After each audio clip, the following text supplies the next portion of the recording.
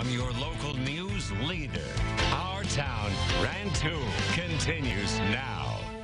What do a woolly mammoth and space exploration have in common? A studio in our town, Rantoul, has the answer.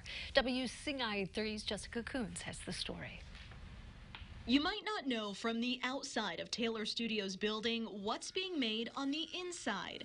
Dinosaurs, giant cave structures, woolly mammoths, and the planets. These pieces end up in museums, nature centers, universities, and more. It all began 30 years ago. Started in a, a garage in a house in Mahomet and uh, humble, humble beginnings and grew from there. Betty Brennan moved Taylor Studios to Rantoul in the late 90s. We were renting over there and we kept growing, but we wanted our own space.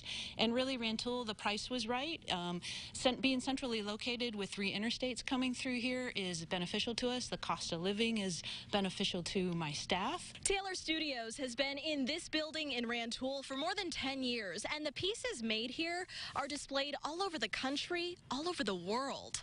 We've completed over 700 projects in 44 states and four countries. You might be in the Pleistocene hanging out with a mammoth and a paleo hunter, or you could be uh, in the time frame of Lincoln. We did the Lincoln Museum in Lincoln, Illinois, for instance. So uh, we tell stories, and we, we tell them in 3D. Jason Thorne oversees many of the projects. He's always loved art, but it took him a while to land here. This is actually a far cry from what I started out my career as. Um, I was a law enforcement officer for 10 plus years. And I saw an ad in Taylor Studios. I had, uh, was interested in their company for quite a while, and it was timing at that point. I had turned in some drawings and some pictures of things that I had done, and uh, they got me in here, and I learned a lot. He learns something new every day, like how to create a huge exhibit for a museum in Iceland. It was a 30 foot tall rock cliff face, that was about 45 feet long. We know we have to disassemble it and get it through a set of doors. And in this case, we actually had to put it on uh, freight containers, ship it across the ocean. You know, so we had it here, we got to take it apart, and then put it together on site, and still have it the way they wanted it. Whether it's an interactive exhibit for kids or lifelike replicas of important figures in history, Taylor Studios' dozens of artists take pride in what they do and plan to keep growing in our town, Rantoul.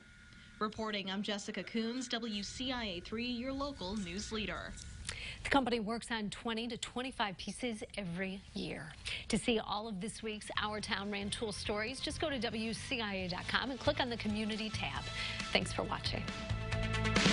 Our Town Rantoul has been brought to you by Illinois Pork Producers and Best Western Plus Green Mill Village Hotel and Suites Convention Center in amazing Arcola.